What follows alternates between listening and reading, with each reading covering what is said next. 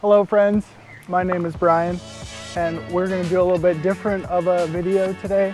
I'm in my hometown, Haleiwa, Hawaii, and we're going to do some homemade e-biking and some vintage suspension setup. I'm at my friend's house and his dad is a homemade e-biker and there's two of them here so we're going to see how that goes.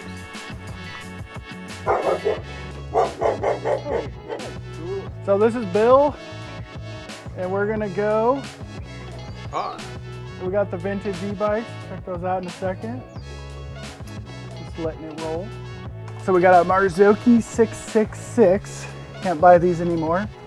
This is the real Marzocchi, not the Foxzocchi. And the DHX. Is there any part of the suspension you feel like could improve? Seem like it.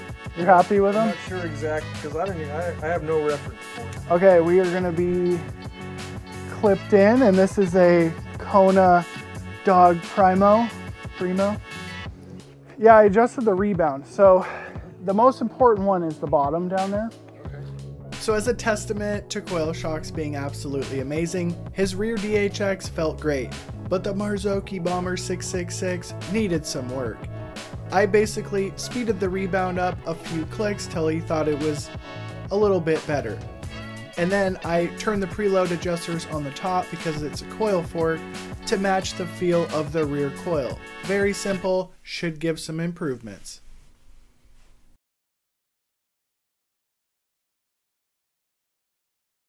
Unfortunately, the bike I'm riding, the Kona Dawg, has a dogged air shock on it.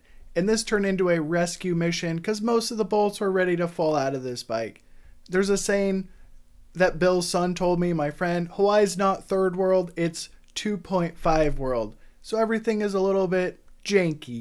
This is the homemade e-bike kit on this Kona Dawg. It's a mid-drive Bafang motor that costs about 400 bucks on Amazon and it's got a lot of power and a pretty substantial battery. In 2005, I would have killed to have this on my old school mountain bike.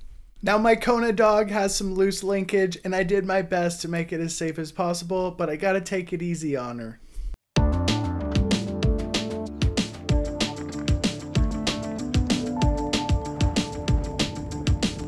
Now this size large I'm riding feels like a small.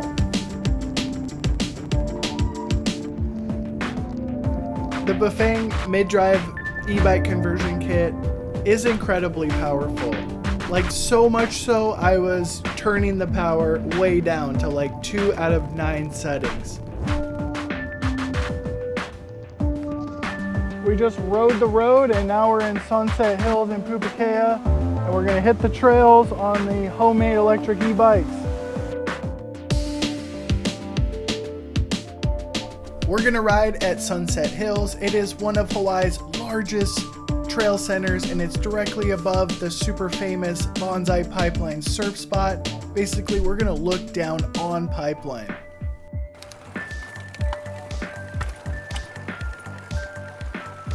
Gentle. We got that loose linkage. Now you can see the reverse arch on this fork, so you know what kind of brand it is. It is definitely a Manitou. And as a testament to Manitou's amazing machining skills, this fork is pretty plush and half the stanchions are rusted, and you can count on this thing had never been opened ever in probably 15, 20 years. Now, to be fair, this was a high-end fork in the day, but it's got plenty of mid-stroke support, and it's lasted over 20 years. So round of applause for Manitou and their high-end products. Now when it comes to the rear suspension, this has a tiny Fox float on the rear, and it was very under-impressive. Should have a coil on it. Now this Manitou fork may have 30mm stanchions, but it's completely up to the task for cross-country riding, and I'm pretty darn impressed to be perfectly honest. I have to get a measure, I know.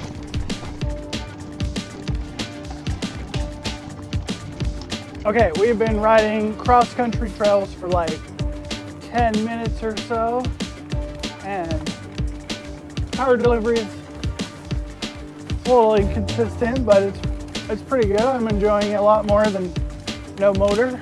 Now the Bafang mid-drive conversion motor, it's a little bit inconsistent like I just told you. It's like full on or full off. It may have some issues. This bike I'm riding does have quite a few miles. Now one extremely impressive part about the Bafang mid-drive motor conversion, it is a very quiet motor system. All the high-end e-bikes I ride nowadays have a lot of noise coming out of them.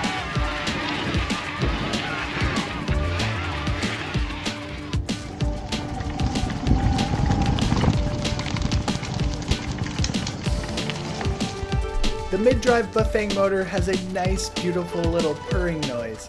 It sounds much better than a $10,000 e-bike. Maybe someone in the comments can help me explain. Now the e-bike conversion kit on the bike I'm riding costs $600 on Amazon and there's a beautiful article I linked in the description on how to set it up on your bike. I can tell you it is extremely powerful. Reading the fine print, it says it has 100 newton meters of torque, and the more expensive 52 volt version would have 160, which would be way overkill for a mountain bike, so I would go for the cheap one.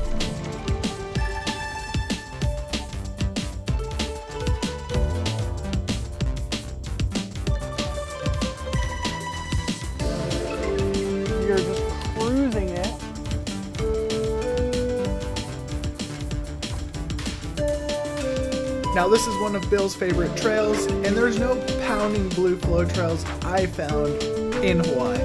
They're just kind of cruising cross-country trails with mild elevation drops. And the suspension platform on the Kona Dawg works perfectly good for this, and that motor, well, it does add quite a bit of weight to the bike, but that super small 26 inch frame is actually pretty playful.